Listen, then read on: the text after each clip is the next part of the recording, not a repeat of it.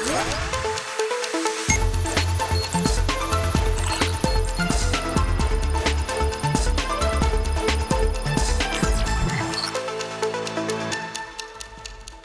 Benvingudes i benvinguts al Notícies Resum. Entre un 10 i un 20% de la població arreu de l'Estat ha patit algun tipus d'abús sexual durant la seva infància. Així ho dictamina un estudi elaborat per Save the Children que conclou que la gran majoria dels abusadors són coneguts i que destaquen els casos d'abús intrafamiliar. Unes dades que, segons aquesta ONG, són només la punta de l'iceberg, ja que s'estima que només el 15% dels casos d'abús arriben a denunciar-se. Aquest és el testimoni de dues mares que ho han viscut en primera persona. Pues fue en una comida familiar, además creo que celebramos un cumpleaños, toda la familia, y de repente mi hija estaba con su mejor amiguita y la hija de mi prima. Y me acuerdo que en el postre bajó de la piscina y me dice, mamá, sube que te tengo que contar una cosa. Y, bueno, y ahí fue cuando me dijo, pues que, que el Antonio, que, era, que lo llamaba el papá, papá Antonio, pues que le empezaba a hacer masajes i que quan llegava a una zona pues, que li feia dany. Jo feia molts anys no, que estava separada de, del pare, no, ja anava en règim de visites i de cada 15 dies i les vacances. I ella sempre havia volgut anar i estava contenta d'anar. Pues ella va dir que no volia anar amb el seu pare, que, que no hi volia anar. I llavors a mi ja no, no em va quadrar. El tema és que ella tenia un secret i, i al final pues, ella va insistir que no volia anar i jo vaig parlar amb la professora de repàs i el seu secret pues, era aquest, no? que el seu pare li estava, fe, li estava fent abusos no? des de que era bastant petita. A més a més, en el meu cas, eh, que ho diré ara, que no així públicament no ho he dit mai, no? però jo també vaig estar abusada no? de petita i també per el meu pare. No? Llavors, pues, bueno, imagina't, no? Dius, com pot ser que a la meva filla, a la meva petita, li hagi passat el mateix que a mi i jo no me n'hagi donat, no? Com pot ser? I ho estic dient perquè es veu que és un perfil que està passant bastant, no? que dintre de tots els abusos que estan sortint últimament, pues és bastant normal no? que les persones que han estat abusades pues, els hi passi el mateix a les seves filles i, i que no se n'adonin. De la unió i la força d'aquestes dues mares ha nascut AFACIT, una associació que vol acompanyar a les famílies que estan passant pel mateix procés. Processos que en alguns casos allarguen fins als 5 anys, un fet que provoca que els infants hagin de reviure els fets diverses vegades. Que l'abús sexual infantil deixi de ser un tema tabú, donar veu a les famílies que passen pel mateix, intentar fer força per canviar les lleis i fer més curts els processos judicials que han de viure els menors. Aquests són alguns dels objectius de FACIT, una associació que vol fer costat als infants i famílies que viuen situacions d'abusos infantils. Asseguren que encara es desconeix molt sobre aquest tema i que això fa que s'hagin creat falses creences. Quan esto no te ha pasado antes, te piensas, no sé, que solo es por la televisión, que son personas que tú le tienes que notar algo, que tú lo tienes que notar en tu casa. Y es que no es así. De la persona que menos, menos te imaginas, es. Yo en mi caso eh, salió por, por redes sociales y los comentarios es dónde estaría esa madre, en la peluquería. No, no. Esa madre estaba en casa y esa madre estaba incluso en la misma cama. Denuncien que en moltes ocasions els abusos no es consideren violació perquè no hi ha violència i per això no es posa una pena més gran als abusadors. Com pot ser que una nena de 5-6 anys pugui decidir si el que li està fent aquest pare o aquesta persona de la família és correcte o no. Ella no té cap, no té cap eina per defensar-se. És una violació amb tota regla. És per això que demanen més prevenció pel que fa a les escoles o als instituts, impartint tallers, perquè si algun infant està sent abusat, ho pugui veure. Se'ls ha d'ensenyar a aquests nens que els monstres aquests no són com els monstres de la tele, que són lletjos, que fan por, no. Són persones normals, com nosaltres. A tot aquest procés se li ha de sumar una altra lluita, la recuperació psicològica. Una lluita que no tothom es pot permetre econòmicament.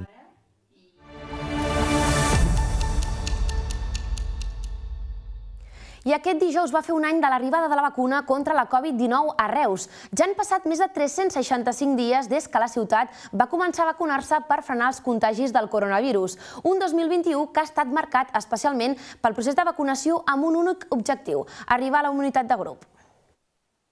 Al voltant de les 11 del matí del 30 de desembre del 2020, la residència Ors de Miró de Reus rebia les primeres dosis de la vacuna contra la Covid-19 de la capital del Baix Camp.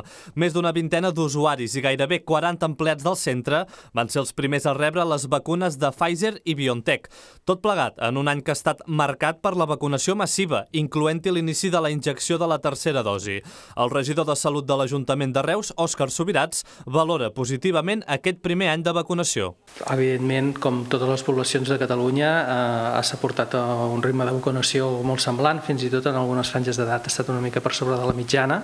A més a més, a Reus, a partir de l'estiu es va habilitar un centre de vacunació massiva a la ciutat, situat a Mas Iglesias. Fa uns dies també es va reforçar el CMQ, dos punts que han permès facilitar molt més aquest accés a la vacunació. Això ens permet, per un costat, poder tenir l'oferta molt accessible a la població i alhora doncs, que els, eh, el resultat d'això és que els índexs de vacunació a la ciutat de Reus estan pràcticament a la mateixa mitjana i en algunes de les franges d'edat per sobre de la mitjana de Catalunya. El primer aniversari de l'arribada de la vacuna contra la Covid-19 a Reus arriba hores després que Salut obrís la franja de les persones entre 40 i 49 anys per demanar cita de la tercera dosi. I pel que fa a la situació del nombre de contagis a Reus, aquesta continua creixent. Segons les dades que facilita el Departament de Salut, el risc de rebrot ha augmentat en els darrers dies més de 1.100 punts i se situa ara als 2.372 punts. Pel que fa a l'RT, aquest també ha pujat fins als 2,15 punts.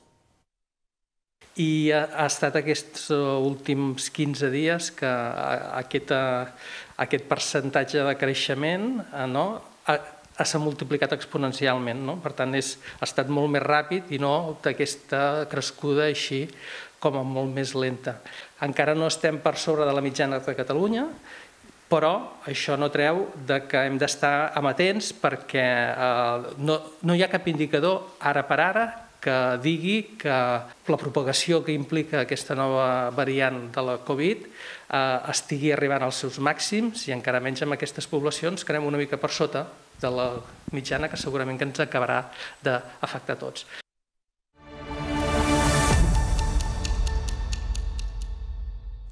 Aquesta setmana s'han presentat pels carrers de Reus els nous vehicles del Servei de Neteja de la ciutat, la UT Reus Net. Uns 25 vehicles que corresponen al 25% de la flota total que arribaran els pròxims mesos. D'aquesta manera es compleix el segon punt del calendari de desplegament que havia previst l'Ajuntament.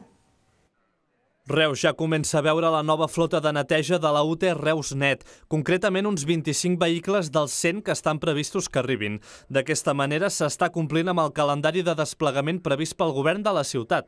A l'octubre es va iniciar la prestació amb els serveis actuals i des d'aquest desembre la maquinària nova ja està en marxa. Pel pròxim febrer està previst el darrer punt, la posada en marxa del nou servei de recollida amb els nous equips. Tot plegat fa que, segons l'alcalde Carles Pellicer, s'avanci en un nou model amb diferents pilars pilars estratègics. Millora de la qualitat, gestió més eficient i polítiques socials. Ho dic això perquè ara doncs, el que farem també serà abocar-nos molt més amb, també en campanyes de, de recollida selectiva, en campanyes de civisme, pel que fa referència al que és la, el complement al que ha de tenir una, un servei que ha de comportar-nos una ciutat més neta, més sostenible i, evidentment, més eh, agradable per tots. El mateix Batlle assegura que s'aprofundirà més en la neteja de la capital del Baix Camp, però a la vegada ha reclamat una actitud cívica per part de la ciutadania. Que no n'hi ha prou en posar eh, amb la nova contracte més vehicles o posar més eh, contenidors, com se posaran aviat, tots nous, evidentment, sinó que també demano una, una una actitud cívica a l'hora doncs, de, llançar les brosses als contenidors, a l'hora de mantenir la ciutat. Necessitem la col·laboració de la ciutadania a l'hora de mantenir la ciutat neta. Els nous vehicles de la neteja formaran part de la cavalcada de Reis del pròxim 5 de gener, ja que, segons l'alcalde, volen que la ciutadania els conegui i se'ls faci seus. Això és el que feia l'Ajuntament, però hores després els sindicats van tornar a la càrrega. Asseguren que aquests terminis pautats no es compliran per part del consistori i que no s'està dient tota la veritat. Al novembre del 2020, Canal Reus els anunciava que Valoriza Romero Polos quedava amb el contracte de la brossa de Reus, en substitució de Fomento Construcciones i Contrates, un contracte que va donar el tret de sortida el passat 1 d'octubre del 2021.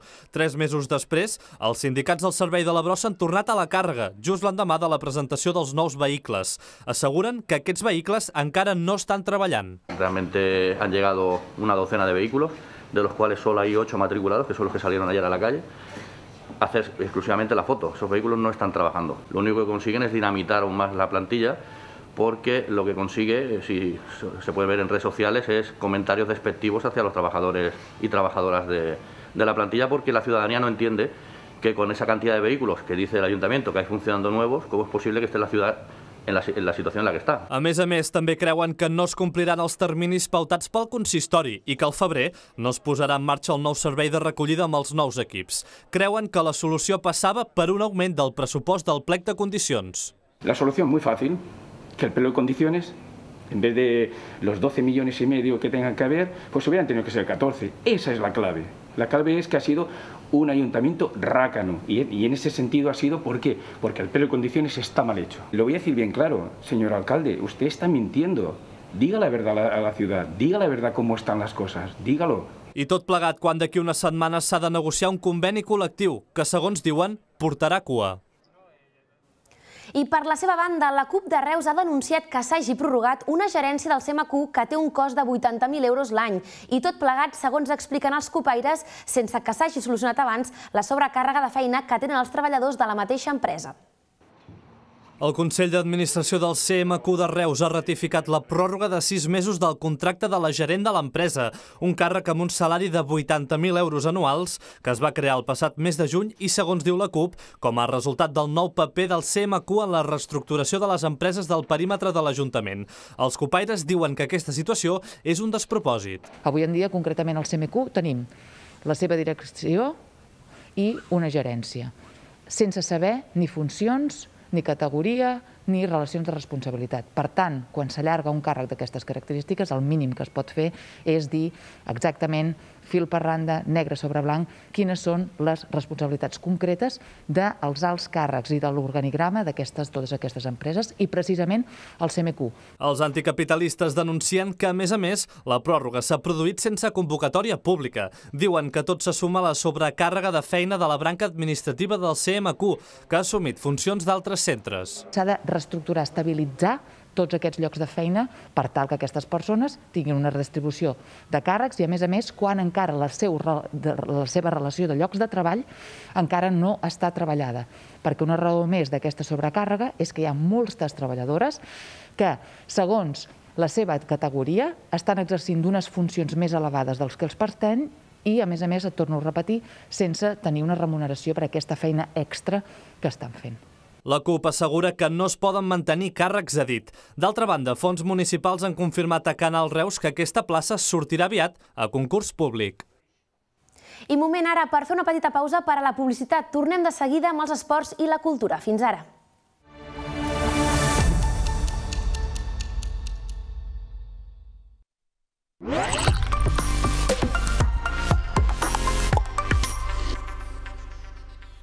I en esports, aquesta setmana hem anat fent un resum de l'any esportiu.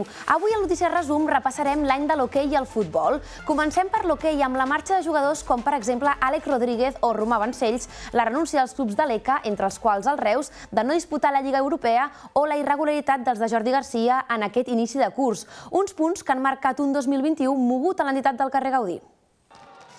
El 2021 començava amb la Supercopa d'Espanya de Lloret de Mar. El Reus Deportiu va superar les semifinals davant del Deportivo Liceo, però va caure en la final contra el Barça en un partit que no va estar exempt de polèmica, ja que no es va xiular un penal a Romà Vancells ni van concedir un gol legal a Raúl Marín. La Lliga Europea va tornar en un format breu a l'uso. El Reus va ser enquadrat amb l'Sporting de Lisboa i l'Oliveirense portuguesos, amb qui va perdre els dos enfrontaments que va disputar. Pel que fa a l'hoquei Lliga, els de Jordi Garcia van tancar el curs en la quarta plaça per darrere de Barça, Liceo i Caldes. En un any atípic, marcat per la presència del coronavirus, la Copa del Rei es va celebrar en ple mes de juny. Els reusencs van superar el Girona als quarts de final, però no van poder vèncer el Barça a les semifinals. Aquell va ser el darrer partit d'Àlex Rodríguez i de Romà Vancells amb la samarreta roig i negra. Qui també va deixar el Reus va ser Pablo Nájera. Liceo, Palafrugell i el Sarzana italià van ser els seus respectius destins. Uns van sortir i uns altres van arribar. Keiko Compagno i David Gelmà, provinents del Lodi italià i el Girona, van ser els fitxatges del Reus conjuntament amb el porter del Noia, Martí Zapater. Durant l'estiu també es va confirmar l'ascens a la nacional catalana del filial roig i negre 11 anys després. L'inici de curs 2021-2022, de moment, està funcionant amb un Reus irregular, cinquè classificat de l'Hockey Lliga, però amb el bitllet per la Copa sota el braç. Pel que fa a la Lliga Europea, aquesta haurà d'esperar fins a mitjans de gener del 2022. I en futbol, el Redis s'ha erigit com a primer equip masculí de la ciutat gràcies al projecte de ciutat entre el Club Reusenc, la Fundació Futbol Base Reus i la Sempre Reus 1909. Per la seva banda, la mateixa fundació ha començat un nou projecte amb la creació del sènior femení de l'entitat, un primer equip que recupera 20 anys després. El 16 de març del 2021 es van oficialitzar les bases del projecte futbolístic masculí de Ciutat que aglutina la Fundació Futbol Base Reus, el Redis i els aficionats amb la plataforma Sempre Reus 1909. Un acord que s'ha d'allargar com a mínim durant quatre temporades i que compta amb el Redis com a primer equip de la ciutat. Pujar a la tercera federació en el menor temps possible és el principal objectiu esportiu. De moment, els resultats acompanyen, ja que l'equip dirigit per Marc Carrasco és líder de la segona catalana. Per la seva banda, la Fundació Futbol Base Reus ha exemplificat la seva aposta pel futbol femení amb la creació d'una escoleta i d'un primer equip aconseguint tenir jugadores de totes les edats. El sènior s'ha recuperat després de 20 anys i ha nascut amb l'objectiu de donar continuïtat a les jugadores formades a la base de l'entitat roig i negra. Amb Marc Mestres al capdavant, l'equip està complint els pronòstics i se situa en les primeres posicions de la segona catalana. A la primera nacional hi trobem el Club Deportiu Riudoms. L'equip dirigit per Raül Lucha va assolir una permanència històrica a la categoria de l'any del seu debut. I ho va fer en bona part gràcies a la ratxa d'11 jornades consecutives sense perdre.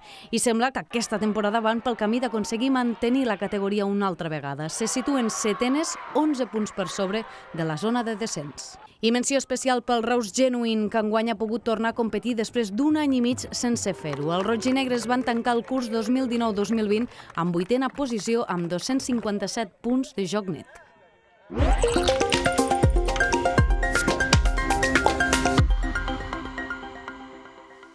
I comencem la plana cultural parlant del ja tradicional pessebre solidari de Playmobils de l'associació Collector Clubs, que enguany ha decidit incorporar elements de la ciutat, com per exemple la Casa Navàs com a principal reclam. Des d'aquesta setmana i fins al pròxim dia 5 de gener, tothom que desitgi visitar-lo només han de portar algun aliment de primera necessitat al seu local del barri del Carme. Sant Josep, la Verge Maria, el Mercat del Mercadal i fins i tot la Casa Navàs. Més de 160 figures de Playmobil són les que formen part del ja tradicional pessebre solidari de Collectors Club. L'entitat reusenca ja fa 3 anys que du a terme aquest pessebre de clics que any rere any va creixent tant en dimensions com en solidaritat.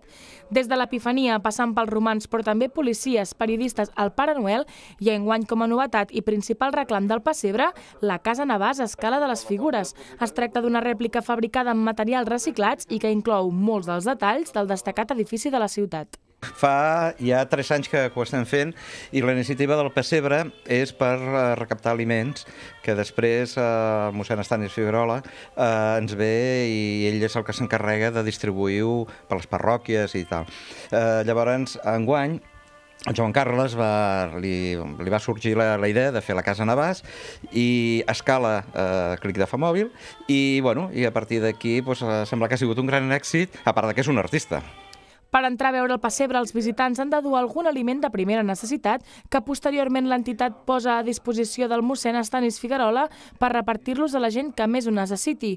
Enguany, tot i el context de pandèmia, esperen superar el nombre de donacions dels altres anys. Jo crec que l'any passat van fer 4 o 5 caixes grans i ara estem a la primera setmana ja tenim la taula plena i això té pre pre prediccions de que probablement se duplicarà el, més, el que segurament vam, vam aconseguir l'any passat.